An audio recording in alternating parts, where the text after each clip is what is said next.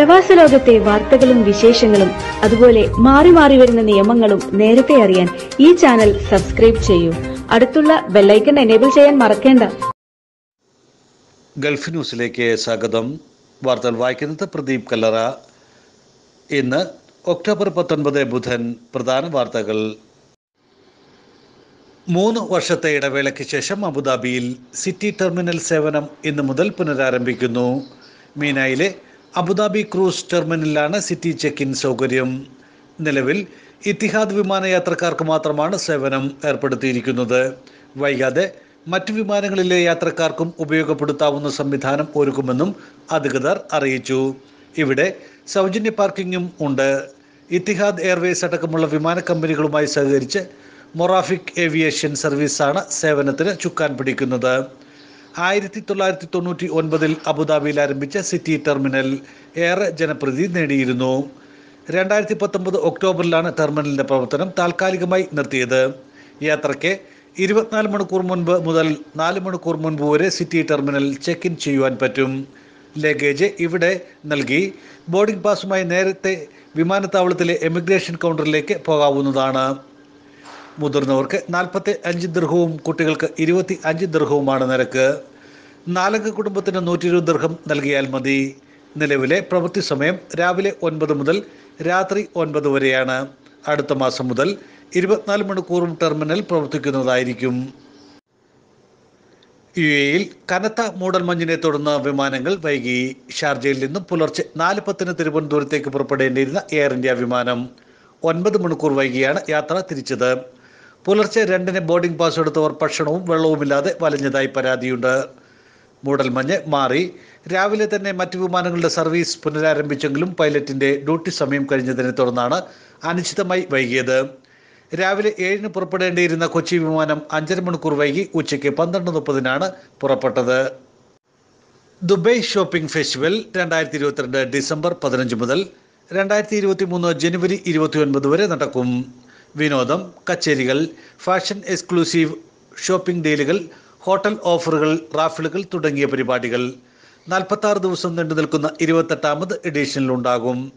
Dubai festivals and retail establishment സംഘടിപ്പിക്കുന്ന D S എഫിന്റെ വരാനിരിക്കുന്ന പതിപ്പിൽ ജനപ്രിയ retail ആശയമായ Etisalat M O T B Burj പാർക്കിലെ ഏറ്റവും ദൈർഘ്യമേറിയ D S F ഡ്രോണുകളുടെ light show Dubai lights exhibition എന്നിവയുടെ തിരിച്ചുവരവും കാണുവാൻ പറ്റും. ലോകമെമ്പാടുമുള്ള സന്ദർശകർക്ക് ദുബൈ സന്ദർശിക്കുവാനും ഏറെ നാൾ നീണ്ടു നിൽക്കുന്ന ഷോപ്പിംഗ് ഫെസ്റ്റിവൽ ആസ്വദിക്കുവാനുമുള്ള മറ്റൊരു അവസരമാണ് ദുബൈ ഷോപ്പിംഗ് ഫെസ്റ്റിവൽ എന്ന് Dubai festivals and retail establishment CEO Ahmed Al Khaja പറഞ്ഞു. ടാക്സി ലൈസൻസ് ഇല്ലാതെ ആളുകളെ കൊണ്ടുപോയ ആറ് വാഹനങ്ങൾ പരിശോധനയിൽ പിടിച്ചെടുത്തതായി Dubai roads and transport authority അറിയിച്ചു. Dubai police Dubai general directorate of residency and foreign affairs എന്നിവയുടെ സഹകരണത്തോടെ നടത്തിയ പരിശോധനയിലാണ് കള്ള ടാക്സികളടക്കം നിരവധി നിയമലംഘനങ്ങൾ പിടികൂടിയത്. ഈ വർഷം നേരത്തെ അൽ നടത്തിയ പരിശോധനകളിലും ഇത്തരത്തിൽ മുപ്പത്തൊൻപത് നിയമലംഘനങ്ങൾ കണ്ടെത്തിയിരുന്നു. ഇതിൽ ഇരുപത്തിരണ്ട് വാഹനങ്ങളും ടാക്സി ലൈസൻസ് ഇല്ലാതെ യാത്രക്കാരെ കൊണ്ടുപോകുമ്പോഴാണ് പിടിയിലായത്. ഇത്തരം നിയമവിരുദ്ധ പ്രവർത്തനങ്ങൾ പ്രോത്സാഹിപ്പിച്ചതിന്റെ പേരിലാണ് മറ്റ് പതിനേഴ് കേസുകൾ ഉണ്ടായത്. പൊതുഗതാഗത സംവിധാനങ്ങൾ റോഡ്സ് ആൻഡ് ട്രാൻസ്പോർട്ട് അതോറിറ്റിയുടെ മാർഗനിർദ്ദേശങ്ങളും നിബന്ധനകളും പാലിക്കുന്നുണ്ടെന്ന് ഉറപ്പാക്കാൻ ലക്ഷ്യമിട്ടാണ് പരിശോധനാ ക്യാമ്പയിനുകൾ നടത്തിയത്. നിയമവിരുദ്ധമായി ടാക്സി ഓടുന്നതായി ബന്ധപ്പെട്ട് രണ്ട് തരം നിയമലംഘനങ്ങളാണ് ശ്രദ്ധയിൽപ്പെട്ടിട്ടുള്ളതെന്നും Dubai roads and transport authority അറിയിച്ചു. താനുമായി ഒരു ബന്ധവുമില്ലാത്ത ആളുകളെ ടാക്സി ഓടുവാൻ നിയമപരമായി ലൈസൻസ് ഇല്ലാത്ത വാഹനങ്ങളിൽ പണം സ്വീകരിച്ചുകൊണ്ട് കൊണ്ടുപോകുന്നതാണ് ആദ്യത്തെ നിയമലംഘനം. ഇത്തരത്തിൽ ദുബൈക്കുള്ളിൽ തന്നെയും ദുബൈയിൽ നിന്നും മറ്റ് എമിറേറ്റുകളിലേക്കുമൊക്കെ ആളുകളെ കൊണ്ടുപോയവരെ പരിശോധനകളിൽ പിടികൂടുന്നുണ്ട്.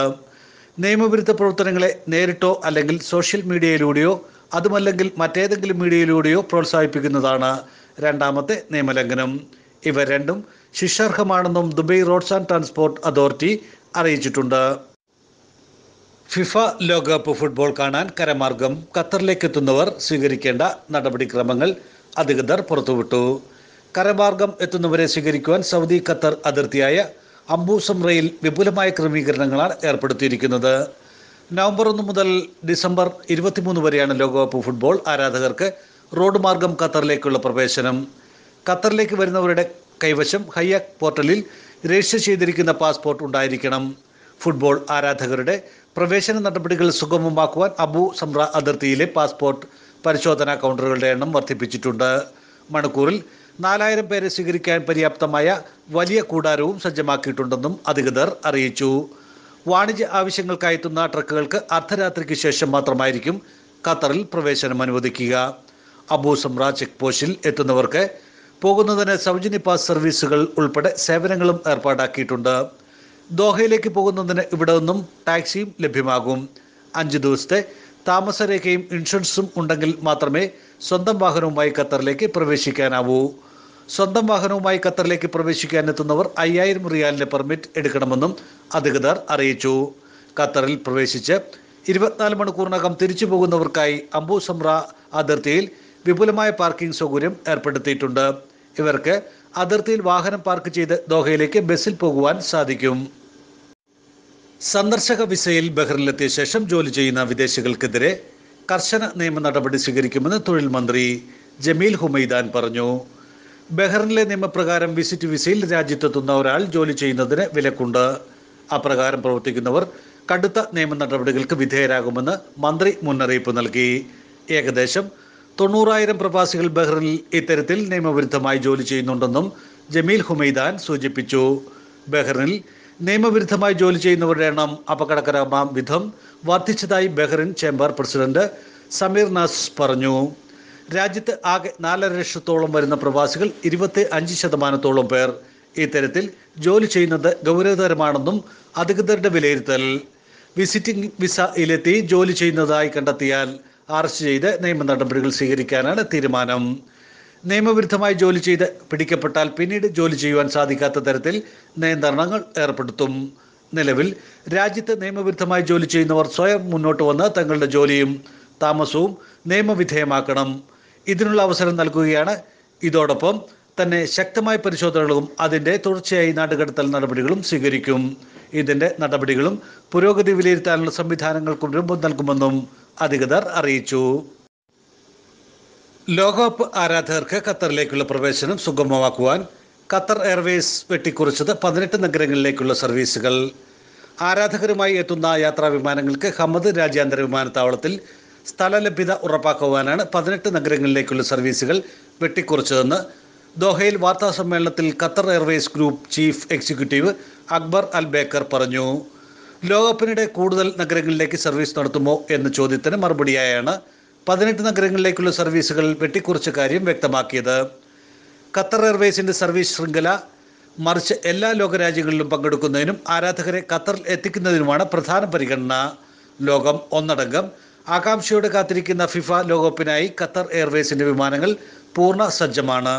ടൂർണമെന്റിനിടെ അയൽ രാജ്യങ്ങളിൽ നിന്നും ദോഹയിലേക്കും തിരിച്ചും പ്രതിദിനം അഞ്ഞൂറോളം ഷട്ടിൽ സർവീസുകളാണ് നടത്തുന്നതെന്നും അൽബേക്കർ കൂട്ടിച്ചേർത്തു. നവംബർ ഇരുപത് മുതൽ ഡിസംബർ പതിനെട്ട് വരെ നടക്കുന്ന ലോകകപ്പിലേക്ക് പതിനഞ്ച് ലക്ഷത്തിലധികം കാണികളെയാണ് ഖത്തർ പ്രതീക്ഷിക്കുന്നത്. ഖത്തർ എയർവേസിന്റെ ജീവനക്കാരുടെ എണ്ണവും പതിനായിരം ആക്കി വർദ്ധിപ്പിക്കുമെന്നും നേരത്തെ അൽബേക്കർ വ്യക്തമാക്കിയിരുന്നു. ഇതോടുകൂടി ഇന്നത്തെ സയന ഗൾഫ് ന്യൂസ് സമാപിച്ചിരിക്കുകയാണ്. കൂടുതൽ വാർത്തകളുമായി നാളെ ഇതേ സമയം കാണാം. നമസ്കാരം.